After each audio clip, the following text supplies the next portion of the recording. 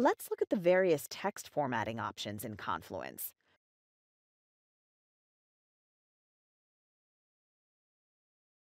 Confluence has all the standard formatting options you'd see in other document editors, such as bold, italics, underline, strike through, even alignment and color.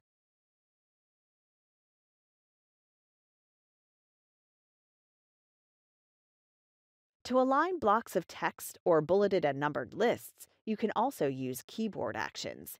To indent, press the Tab key. To outdent, press Shift plus Tab.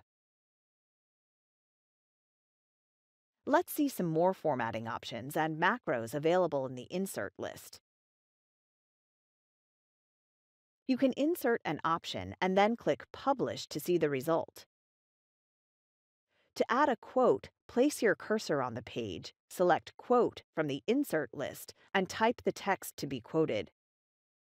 You can also press the forward slash key on your keyboard and type the name of the required option or macro that you want to use on the page.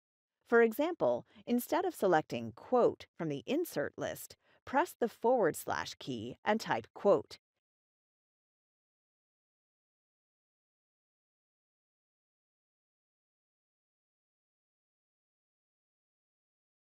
If you want to separate sections of the text, place your cursor at the desired location and select Divider from the Insert list, or use the forward slash key option.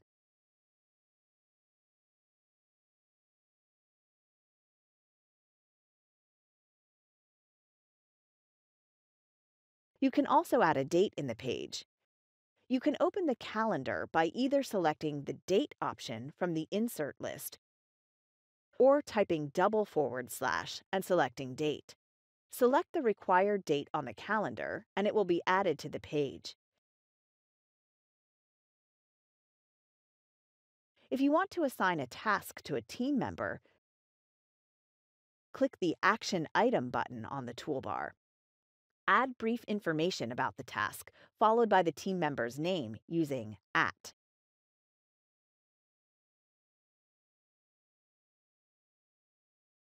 You can add multiple action items and assign them to different people.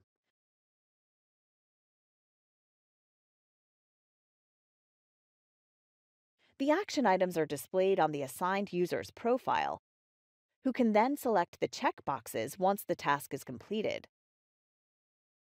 Sometimes the amount of information on the page can be overwhelming.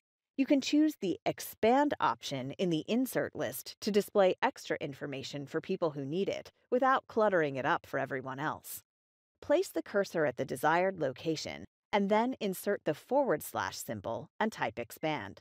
Provide the additional information in the box and add appropriate title so users can expand the title and view the information if required.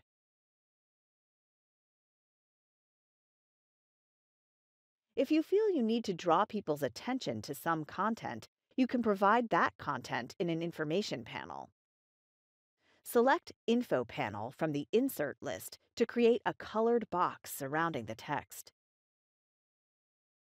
You can also choose an icon with a specific background color.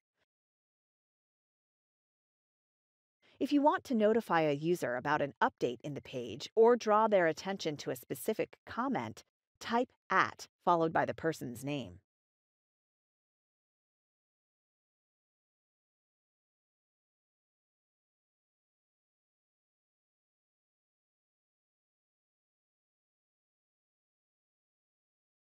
Next, let's look at the layout formatting options in Confluence.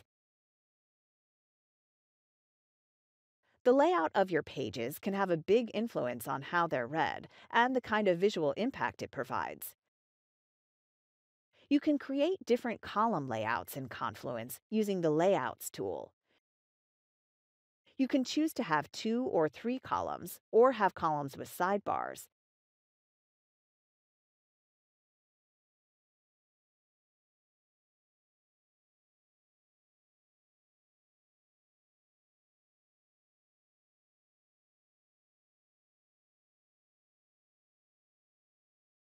You can easily switch between the options. When you change the column layout, additional columns are added to the right, and when you change to a layout with fewer columns, the content moves to the left. That brings us to the end of this video on formatting content. In this video, you learned how to format text, format layout,